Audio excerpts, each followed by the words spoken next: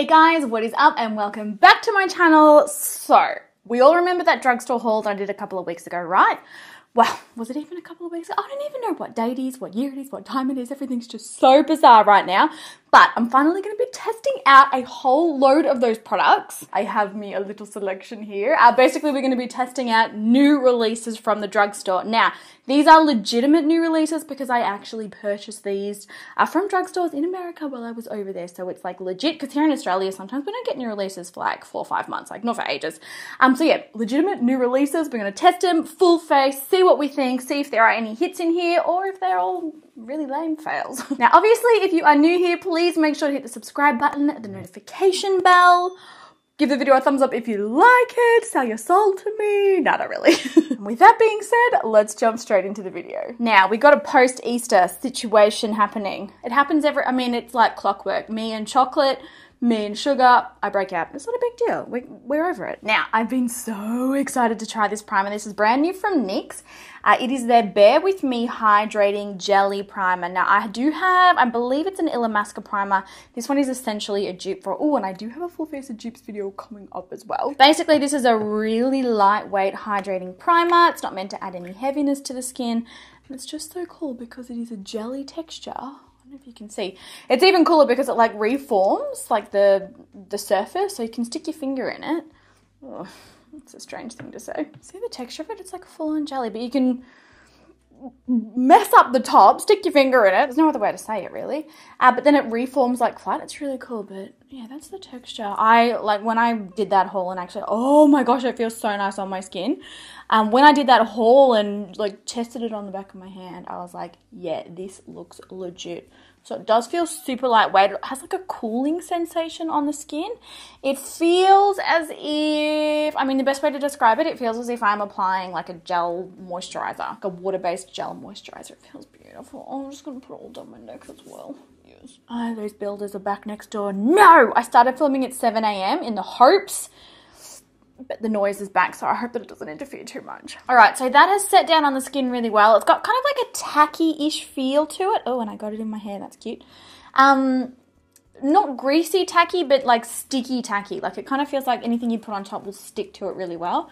So far, I, I like it. It feels good. and it's already reformed the perfectly smooth layer on top. That is like so cool science project. What? How? I need to know. All right, next up for foundation, the CoverGirl Matte Ambition. I was quite excited. Uh, All Day Shine Free Foundation. It's meant to be, it's their full spectrum, so I do believe it is a full coverage foundation. I've read a lot of good stuff about this. I'm really excited to try it out. Uh, I have got the shade Light Neutral, and I did kind of have a little bit of difficulty sort of selecting a shade in store. I feel like there was no real orange Oh no, that one doesn't look too bad actually. Maybe the glass makes it look a different color. They all kind of looked peachy, pinky undertone as opposed to like a nice warm, kind of like yellow undertone. So, so far the coverage doesn't seem amazing to be honest. This is full coverage, right? It's definitely more of a medium kind of a coverage. Like, I'm, I mean, I've put it over top of that zit and it's done nothing. Oh, coverage is a little better on this side and the shade's not too bad. I am actually freshly self-tanned yesterday. Because what else do you do when you're in isolation and no one's going to see you? You self tan, you put on a ball gown, you walk around the house. So I do think that the colour would match me quite well, you know, when I'm my usual shade. I'm not this bronze. Um, it might be slightly light at the minute. We'll see. We'll see. We'll see what happens. Sometimes I do oxidize down quite a bit darker. I know. I'm not really loving the coverage. I'm feeling like it looks quite. Whoa! There's little white dots coming out of the product. There's like little white dots, little white flecks coming out of the foundation. What is going on? Maybe it's the primer, maybe the foundation. Primer don't work together, but I'm definitely not I'm not really in love with this so far. All right, so here it is all blended out. Definitely a medium coverage. Um, it's not a full coverage. I'm still getting these weird little white flecks popping out of the foundation. They look like, it looks like white dust nearly. What even is that?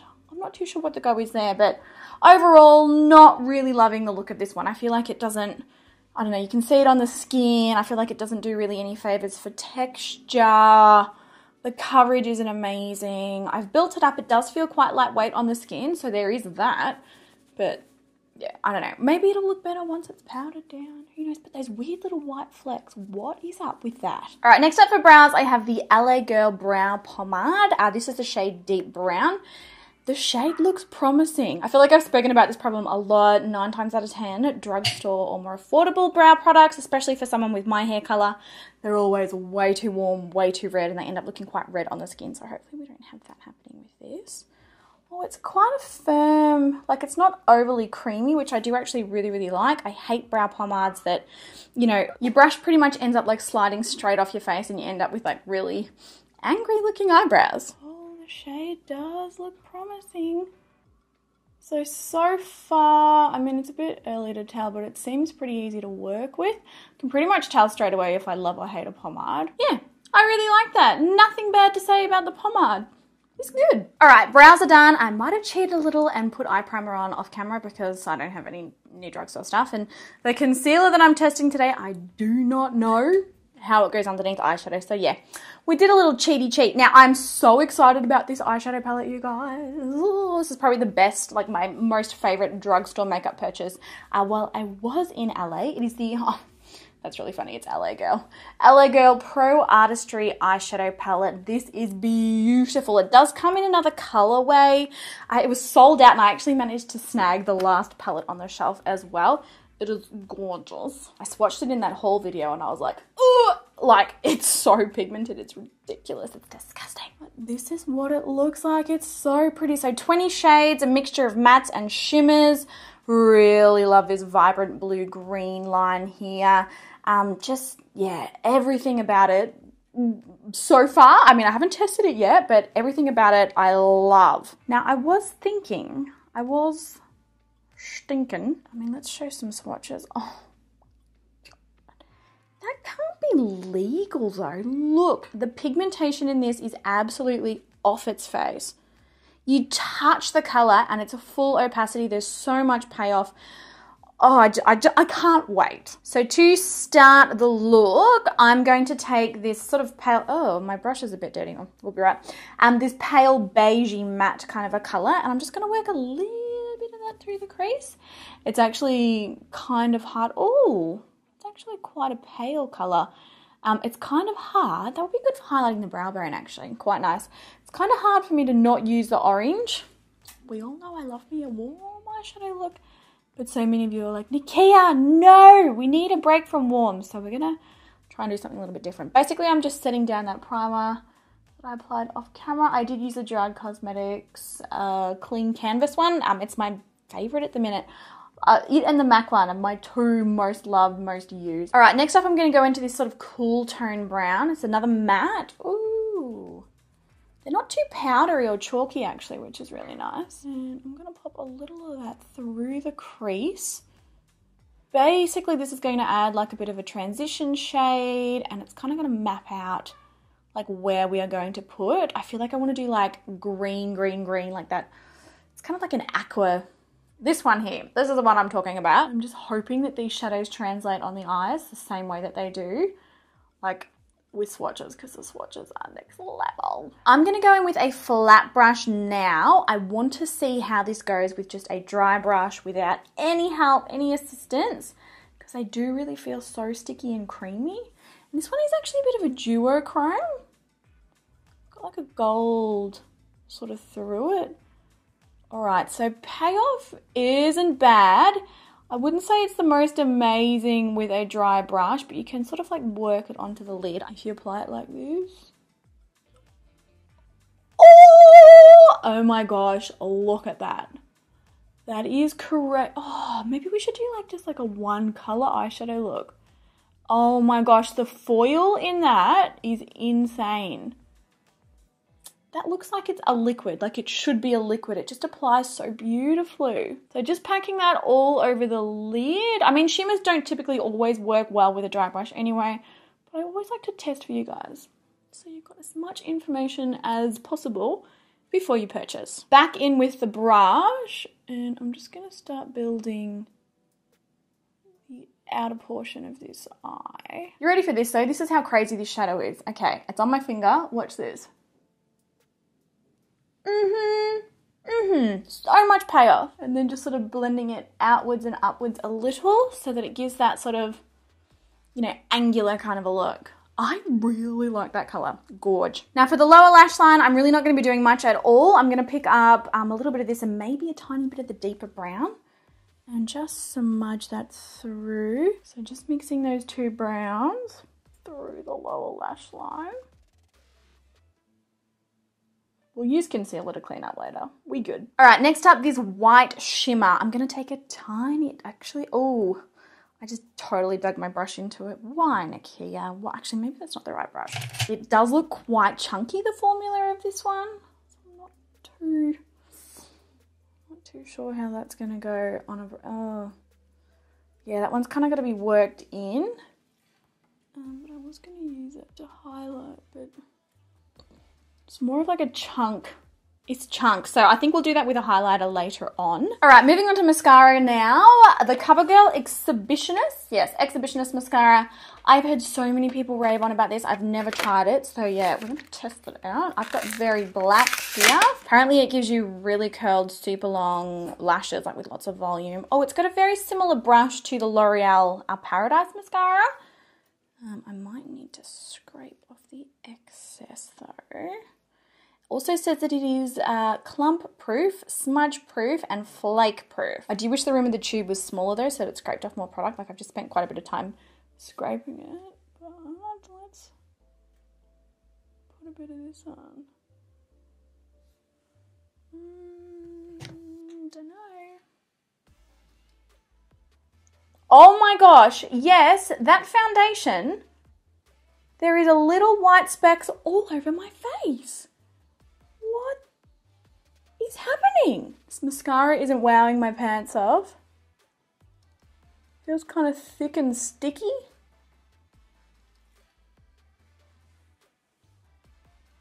There's my lashes with it, there's without. I feel like the formula needs to dry out a bit. Now for lashes today, I want to go with something like a little bit soft-ish, but something that also does give lots of structure. So I have our Amelia lashy. This is from my own brand, Nikkia Joy Cosmetics. This pair here is from our Naked collection, and they've got like a like a seamless bonded band so you can't see any knots. So if you do choose to wear them without eyeliner, you can. But I'm going to quickly pop these on off camera because I feel like this video is going to be way too long already and I'll be right back. All right, so lashes are on. Um, I still, I put a little bit of mascara on the lower lash line, but I kept the green only on the top and I'm so happy with how it looks. Like it's a pop of color, but I feel like it's also really wearable and like anybody could kind of, uh, well, I guess feel confident in it. Um, so that's done, but we need to discuss this foundation. Oh, I'm gonna zoom you in. Hopefully you'll be able to see. Oh, it looks so bad. I don't know if you're gonna be able to see. Hopefully you can. But for starters, there's these weird white, they're only tiny. Like here's one here, one here. They're like little white dots, nearly of like powder or something popping out of the foundation. And also, it has settled into all of my pores. My skin looks really textured. It's already creased. Like, I have not had this on for a very long time at all. It looks so bad. So, I don't even know is it fixable? I just don't know. And even when you like sort of go back over, push those weird little white things back in, they come back and they come back in different spots. I can't really get the creasing to go away. Like foundations normally, oh, I don't know, and you can see redness everywhere. The coverage is not great. I just, I, I'm not a fan of this CoverGirl foundation. To fix it uh, and to try and keep it as authentic as possible, I'm to grab another CoverGirl foundation. Maybe we can fix it. All right, I grabbed another one. CoverGirl Vitalist A Healthy Elixir. Interestingly, has the same packaging. I really like the formula of this one. They should have just stuck with this. I'm just to put a very, very light layer over the top of this other one let's just pray that this works and it doesn't make it worse because at this point I'm nearly ready to wipe off the foundation and start again. Like the camera will not be doing it justice. It looks so textured and gross. Oh, but this one, CoverGirl, this formula is so much better. Oh, the coverage is so much better too. Like it's covering up all those weird spots of redness. This could be a hot, creasy mess. So now that I've got like essentially three layers of foundation on, but I do feel like my skin is looking a lot better than it was. So we'll take it. I also didn't use the entire amount of that product. Like, there's still a fair bit left on my hand. Now for concealer today. Oh, this is a concealer that everybody basically bows down to. Uh, the e.l.f. 16 Hour Camo Concealer. Apparently this stuff is insanely amazing. Um, I do believe it's Tati who just like swears by it. Uh, camouflage those pesky spots and under eye circles with this high coverage, crease resistant 16 hour wear concealer. Oh, it's a very light shade though. This will be interesting. So this is what the packaging looks like. I have the shade light beige. It was sold out in all the other shades, so I basically got what I could. Oh, it's got a big wand, uh, similar to the Tarte Shape Tape wand. I'll pop three dots under my eyes. Let's blend them first and see how it goes. I'm going to take the same sponge that I used for the foundation. This is our Pro Plus Perfecting Sponge. It's got two flat surfaces, like a cutoff on the side and then also a cutoff on the bottom. The bottom's really good for like blending over larger areas if you want to use it that way. Ooh, the coverage of this concealer is quite nice. Blending that right under the lash line. Gosh, it's very brightening this shade as well. Very nice to blend. Like I'm not finding it to be patchy or crepey looking on the skin. Gosh, it goes a long way. Like the excess that's left on my sponge, pretty much spread over my entire forehead. And look, I can do my chin. Can highlight everywhere. So yeah, three dots under the eyes may be too much. Okay, I really, really like that concealer. It's very, very full coverage. It still feels really nice and lightweight on the skin. Um, Big fan, big fan. All right, for powder, I've got this new one by Revlon. It is the Photo Ready Candid Anti-Pollution Setting Powder. Now, I'm not 100% sure if this does come in straight translucent. I've got the banana shade, so this is quite yellow. We'll, we'll see, we'll see. So picking that up on my sponge, I'm going to start setting down underneath the under eye. I will come back and uh, blend a little bit of that brown shadow through here and also pop more mascara on because I feel like I've basically covered it with that e.l.f. concealer. This banana powder is quite brightening. It might look a little bit crepey on me though. Also feels a little on the tight side. That creasing's back on my forehead. I mean, let's be real. My skin does not look good at all today. But we're sticking with it. Too far committed at this point not to like to remove it all and start again. All right, so this powder is quite lightweight. It is visible on my skin though, like it's not completely, like it doesn't completely melt into my skin. It is still a little visible. All right, next up, moving on to bronzer. This is uh, one of the new ones by Wet n Wild. It's their Color Icon Bronzer. Shade name is What Shady Beaches. I love that. I, I love a good pun. I usually do really, really enjoy Wet n Wild cheek products. Like they're few and far between ones that I've found that actually disappoint me. Um, so hopefully this one is the same. So I'm going to start shaping my face with it, but then also blending it upwards. So kind of contouring and shaping, but also using it as a bronzer as well. I do, this is sort of how I do my cheeks most of the time. And I always work in an upward direction to lift the face. She's turning 30 this year. We need a, all the help. Oh, that is a lovely bronzer. It nearly looks like it's kind of photoshopped my skin a little bit helped smooth it out. Ooh, I like that. I then bring it up and blend it into my hairline. I want to look sun-kissed and shaped all at once. So it's very smooth. I feel like it's not patchy when you apply it. I'm not finding it difficult to apply. I'm also not finding that you put your brush in it and then you end up with way too much product on your brush. Like it's pretty easy to work with and I do quite like this colour. It's a little maybe on the warm-ish side. There was definitely other shades, so if this one's not up your alley. Formula wise though, oh, I do really, really like the formula. It can also be layered quite well too if you want to like deepen it up.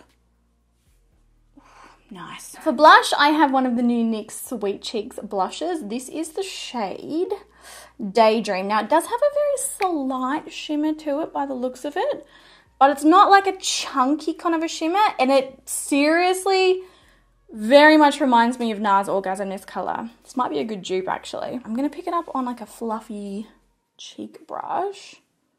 It's meant to be a cream, what did they say? Creamy powder. Oh, that's very pretty on the skin.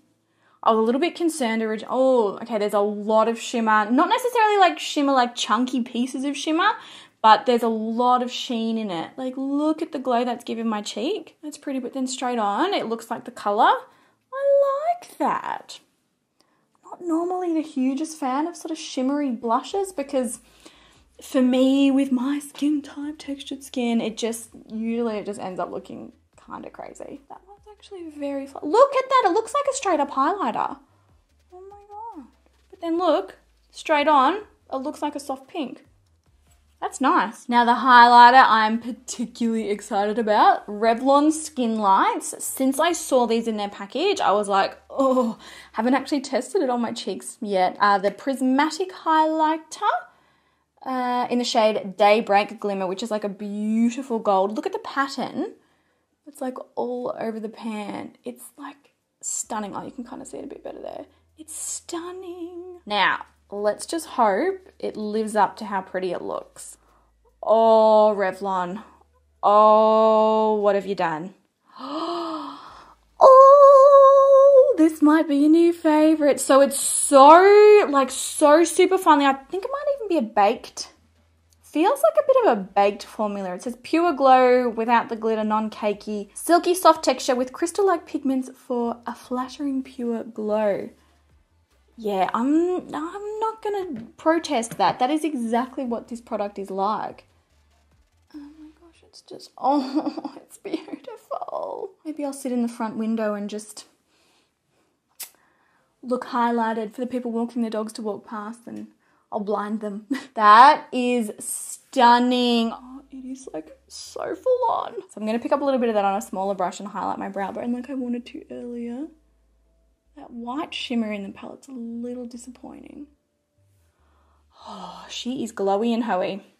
Mm-mm. Got another Wet n Wild product here. This is a brand newie from them as well, and it is the Liquid Catsuit. It's a high shine lipstick, so it's like a hybrid between a liquid lipstick and a lip gloss. I'm really interested to see how it goes. The shade is Chic Got Real, and I actually think this is going to be a good color with this eye. Total fluke. Weird. When you press your lips together, the shine kind of disappears. Like it doesn't, it's, if it's into your height, maybe you just put heaps on. We'll see. So I'm not overly wowed. It is, like it's a little streaky. It's kind of patchy-ish.